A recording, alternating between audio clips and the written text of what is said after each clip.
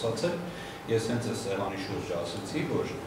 չի լինելու այնպես, որ Արայիկ Հարությունյանը հրաժարական ու ասացի դա վստահություն նաև հետագայում էլի ձեր եթերում հավելեցի, որ խնդիրը ստեղ Արայիկ Հարությունյանը չի ու մի հարցում Նիկոլա ամեն դեպքում ազնիվ է։ Արայիկ Հարությունյանը չի այդ հակահայ քաղաքականության կերտող ու ջատագով, այլ հենց Նիկոլ Փաշինյանն է, ամբողջ թիմով, դա նրանց թիմային քաղաքականությունն է։ Այստեղից կարող տրամաբանական հարց առաջանա, այդ դեպքում ինչու է է արդեն երկրորդ անգամ իր զորակցությունը հրապարակային հայտնում երիտասարդներին իրենց պայքարը որովհետև ի սկզբանե մեզ համար խնդիրը ոչ թե Արայիկ Հարությունյանն էր որպես այդպեսին, ոչ էլ անգամ Նիկոլ Փաշինյանը, այլ մենք այս իրավիճակը դիտարկում ենք որպես լակուս։ Երիտասարդները հրաշալի լակուս ստեղծեցին, որը ցույց է տալիս, թե ինչ երեսպարս սրիկաներ են եկել իշխանությանը, ինչ խախտება են նրանք, ինչ երկակի ստանդարտների գրող են, որոնք ամեն վարքյան պատրաստ են ոտնահարել իրենց գովերքած ու սրբად ասած սկզբունքները ու դեմ գնալ բոլոր իրենց հրապարակային այն թեզիսներին, որոնք արվում էին այս տարի ու կեսման ընթացքում, երբ որ շահառուների տեղերում իրենք փոխվել են ու հիմա իրանք են, հա, իշխանություն։ Այսինքն իրանց փողոց փակել կարելի էր, ինչն չի կարելի, եթե իրանց դեմ է փակվում։ Իրենց համար կարելի է գաղտնագողի ինչ որ զարտուղի ճանապարհներով կասկածելի ձեռնարկներ անել, ուրիշներին չի կարելի, երբ որ իրենք են ընդդիմություն։ Ու այս ամբողջ պատմությունը, կրկնում եմ, առաջին հերթին կարևոր է դրա համար, որ հայ ժողովրդին հնարավորություն է տալիս եւս մի անգամ նայելու այն հայերու մեջ, որը Նիկոլ Փաշինյանն է, սարսափելու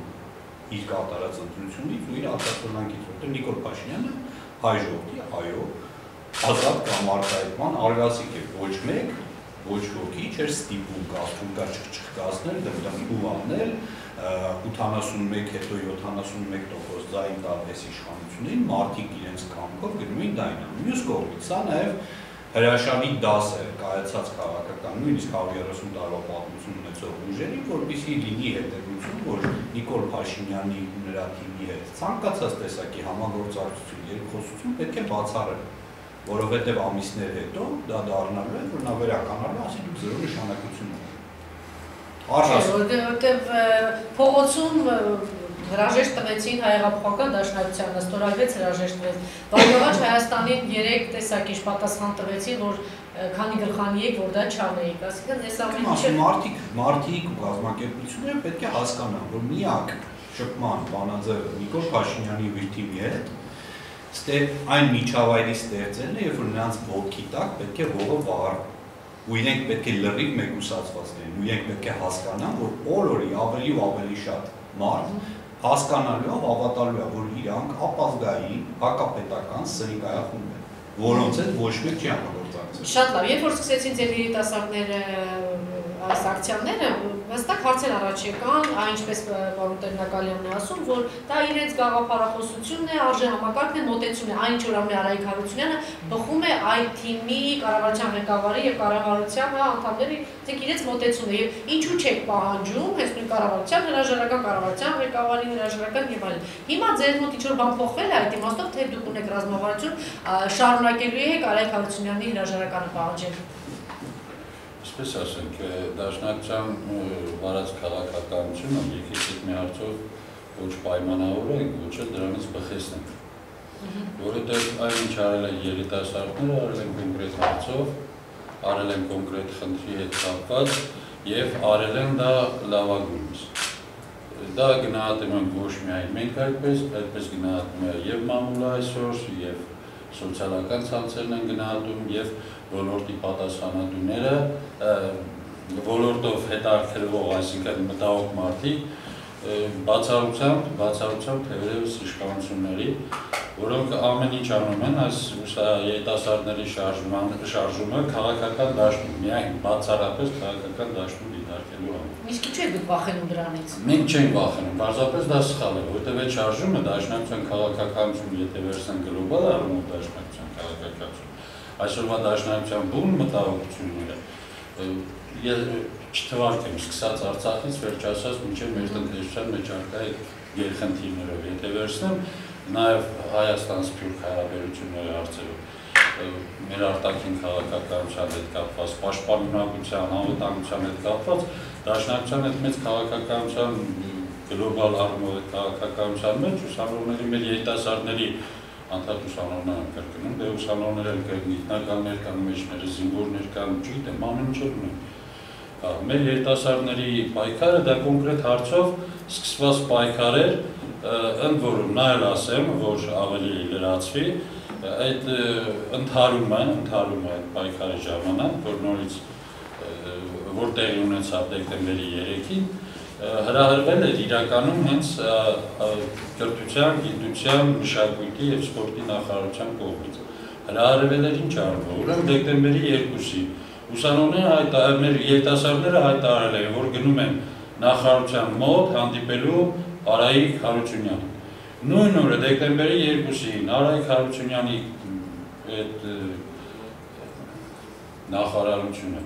Արայք Հարությունյանի նախարարությունը հայտարարեց, թե դա չի համապատասխանում իրականությանը, մենք որևէ պայմանավորվածություն չունենք հանդիպելու։ Եվ ուսանողներին մոտավորապես ստախոս հավանեցին, ասելով, թե դա իրական բան է, ապատեղեկատվություն է։ Արդեն իսկ parzել որ նրանք չեն գալու, չեն հանդիպելու, որովհետև այդ հանդիպման ժամանակ ընդհանրապես պիտի քննարկվեին այն 6 կետերը, որ մեր երիտասարդներն առաջարկել էին այդ համարյա աղանդավորական այդ նախագծից հրաժարվելու համար քննարկելու այդ նախագիծը, որովհետև չի կարելի հայերենը հալածել Հայաստանում, չի կարելի հայ գրականություն հալածել Հայաստանում, հայոց պատմություն հալածել, չի վերջիվերջո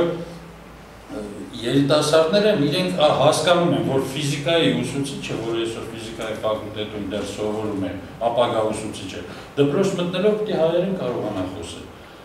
Նրանք այս հասարակ բաները թողնում են մի կողմ, հարցը անմիջապես տեղափոխում են քաղաքական հարթություն։ Եվ հիմա էլ նույնը հենց երեք Նիկոլ Փաշինյանը ազգային ժողովի ուրեմն ելույթի ժամանակ այս նախարարի հրաժարականը համարել, չգիտես դաշնակցության գերնպատակ կամ չգիտես ինչ, դա չի գերնպատակը։ Գերնպատակը որ վերցնես շատ-շատ է։ Այս ընդհանրապես այդ հարցներ, որ պիտի դրվեր եւ այդպիսի նախարար Հայաստանում չպիտի լինի։ Սա էլ արդեն մոտեցում է։ Գուցե ամբողջ քաղաքականության մեջ մի փոքրիկ հատված է, բայց մոտեցում քաղաքական մոտեցում։ Չէ կարծիք։ Դեք իրենք ի սկզբանե իրենց հայտարարում են ժողովրդի կառավարություն